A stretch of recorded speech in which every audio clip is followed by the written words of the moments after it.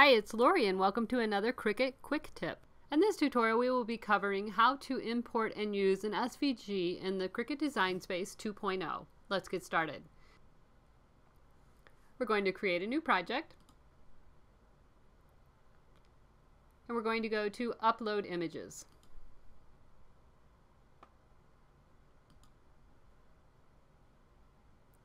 We're going to go to Vector Upload. If you forget which one, you can look right here in the description and you can see a Vector Upload is for SVG and DXF files. We'll click on Upload Vector.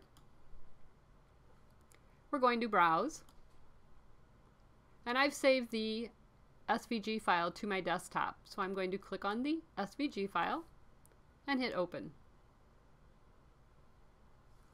You'll see a preview here you can change the name, you can tag it, and click Save.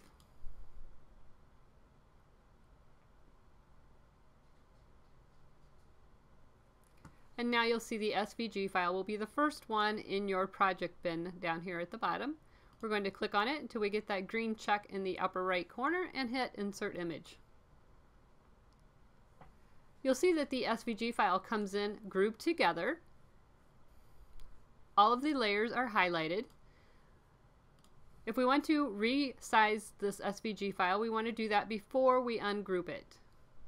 If we would like to change the colors or change any item in the SVG file individually, we will click on it. We will click Ungroup right here in the lower right of the panels. And now you can see each layer is now on its own, ungrouped, and we can edit it accordingly.